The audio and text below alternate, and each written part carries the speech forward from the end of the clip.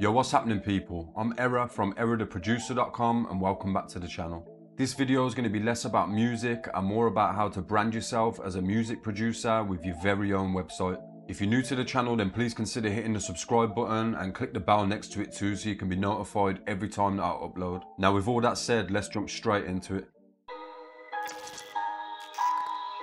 Error on the track.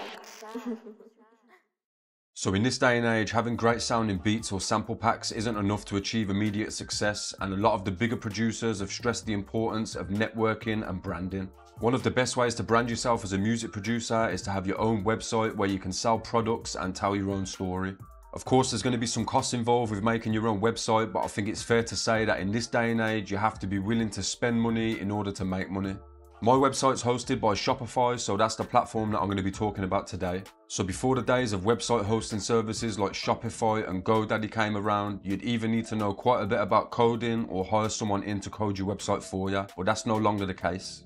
A lot of these website building platforms offer a simple drag and drop template structure, so making the website that you've always wanted is now very easy. So I'll quickly go over my website and the way that I've got it laid out, and then I'm going to build a brand new one from scratch so I can show you through the process. So at first glance, you'll see that users are greeted with an image of myself as soon as they land onto my website. This is a great tip for branding and building trust with potential customers as I think people are more likely to purchase something of somebody they can actually see rather than just some sort of logo or image. Underneath this image, I then have a simple and straight to the point bio that explains who I am, what I do, and how long I've been doing it for. The rest of my homepage then contains links that will take you to different parts of my website as well as my YouTube channel. Across the top of my website is a menu containing different collections of products that I've put together. The All Kits tab is going to take you to a page that contains all of the products that are available on my website and then I've broke this down by sample packs as well as resources and then I have a page for patent sounds. The last thing on this menu is a link to a contact me page, which is just a simple form that users can fill out and I'll receive a message to my emails. So inside the all kits section of my website, you'll see that each product has its own block. And once I click into one of these products, you'll see a large image on the left, as well as a simple description on the right hand side. This is going to explain exactly what the product is, as well as list off some of the unique features. I'd say that my website's still quite basic and I am going to be spending some time to upgrade it over the next few months, but for a music producer, this is a great place to start.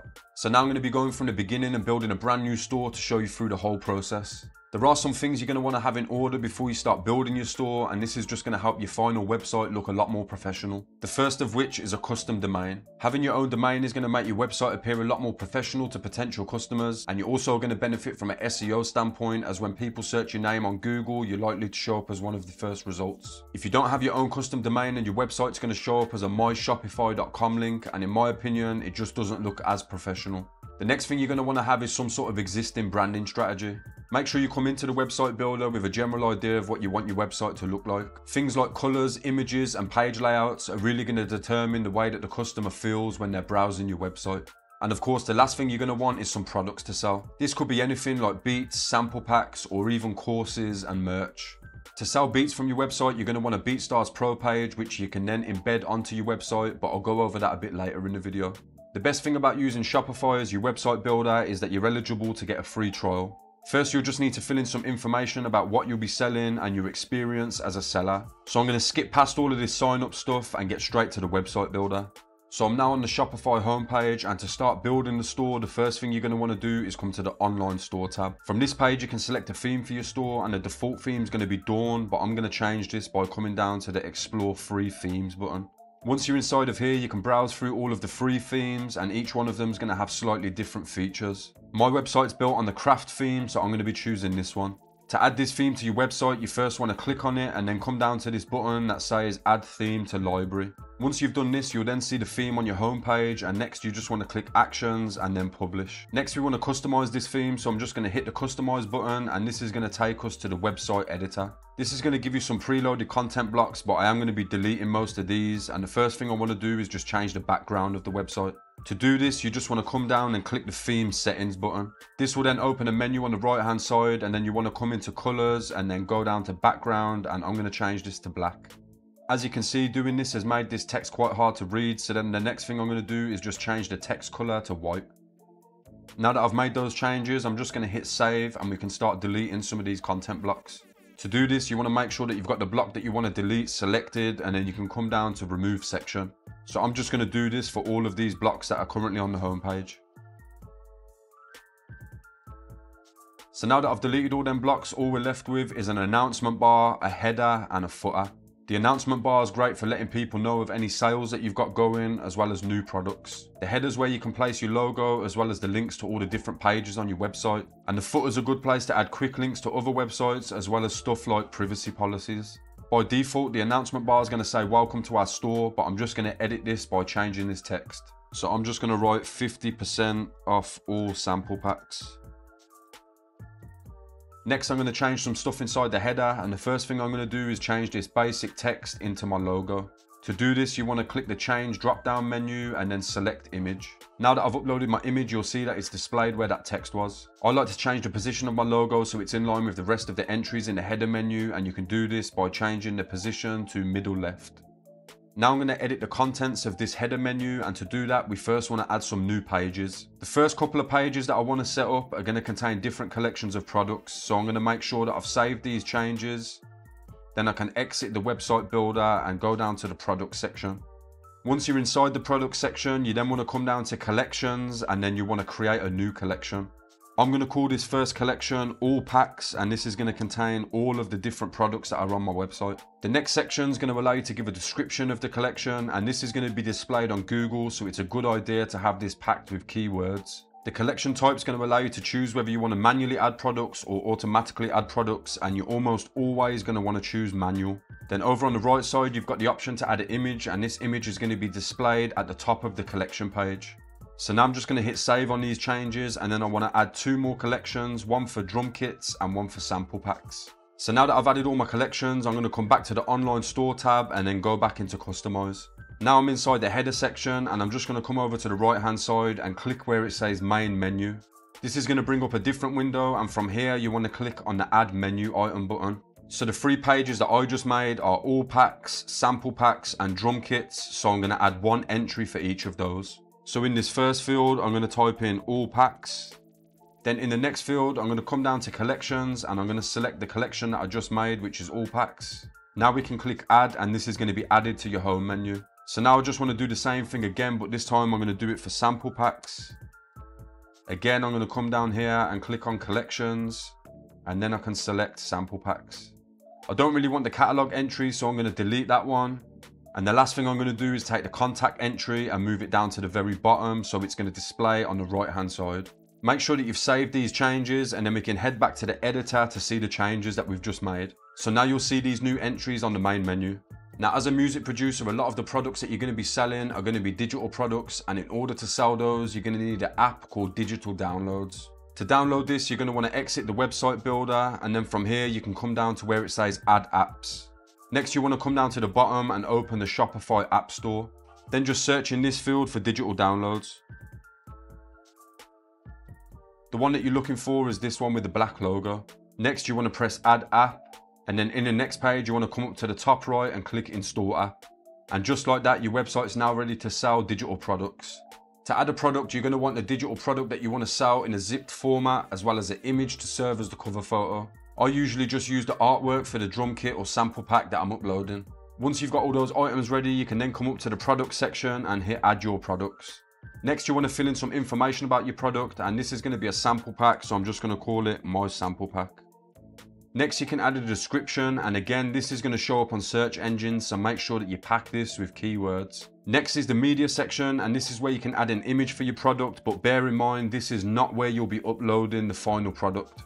Once your image has been loaded, you can then move on to the pricing section and choose whether you want to charge tax on the product. Because we're selling digital products, it's not likely that you're going to want to track the quantity of the product, so I'm going to disable that. And we're not selling a physical product, so I'm also going to disable that.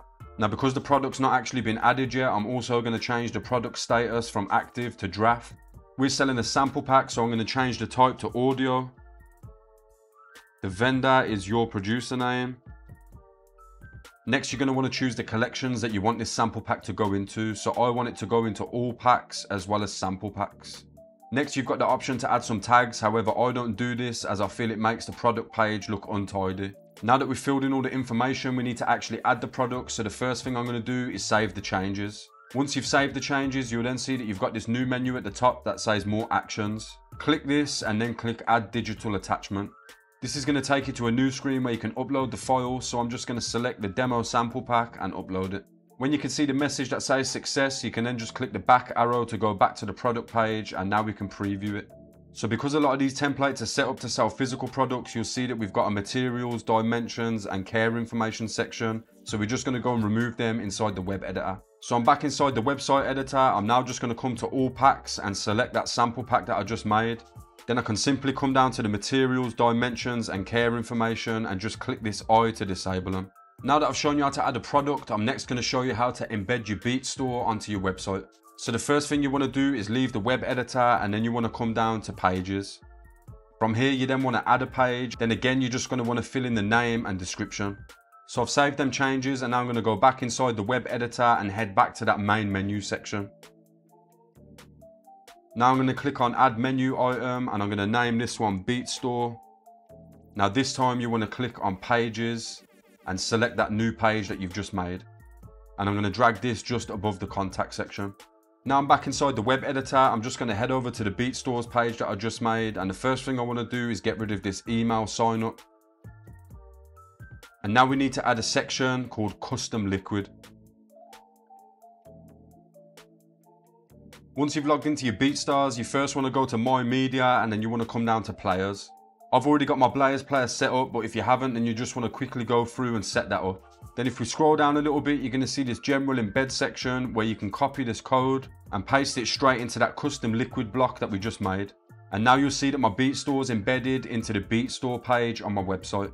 So all that's left to do now is to add some content to the homepage and this is going to contain some links to different parts of my website as well as maybe a YouTube channel or an Instagram account. So the first thing that I want to add is an image banner and I'm going to use this to display an image of myself so it's the first thing that users see when they land on my website. Inside the image banner I'm then just going to deactivate the text and buttons. Then I'm going to come over to the right hand side where I can select my image. The next thing I'm going to add is an image with text block. And this is going to direct users to a different website like YouTube or Instagram. So I've used the same image and just filled out some basic information, but the most important thing is the button. So I'm going to change the button label to take me there. Next, you can enter the link to your YouTube channel, Instagram, or any other website in the button link section. I'm now going to add two more image with text sections and this is going to direct users to different collections of products on my website. The first thing I'm going to do is change the desktop image placement so the image comes second and there's a bit of variation. Now for this button you're going to want to come to collections and I'm going to choose all packs for this one. And the last image with text is going to be used to take users to my drum kits page. So for this button I'm going to want to come to collections and this time I'm going to choose drum kits. You could certainly add a lot more content to your homepage but for this video I'm going to leave it there. This website's now got some home screen content, some collections of products, as well as a beat store, and this is more than ready to start selling products. If you found this video useful, then make sure you smash the like button before you leave, and if you're new to the channel, then please consider hitting that subscribe button too. I've been Error, thanks again for watching, and I'll catch you in the next one.